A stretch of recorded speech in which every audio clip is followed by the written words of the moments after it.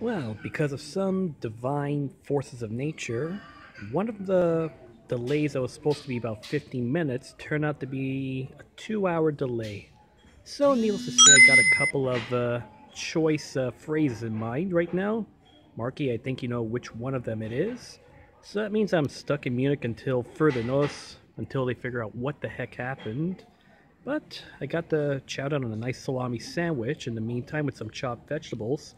So needless to say, I got my uh, veggies and my uh, daily requirement of salty pig. I suppose the only other interesting thing over here would be to my left or my right. And I can't figure out the uh, orientation here.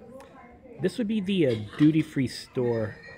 And if you know that phrase anytime, it's probably because of uh, the Seinfeld episode where George Costanza keeps saying about liking shopping at the duty-free store. Hope I got that in your head now.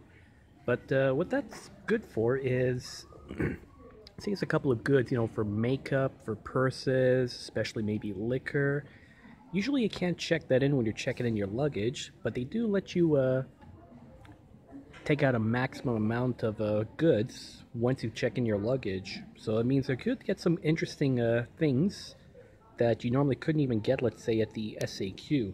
I happen to have noticed a few of them, and one of those I'm uh, bringing back home so I can uh, share them with a couple of good friends.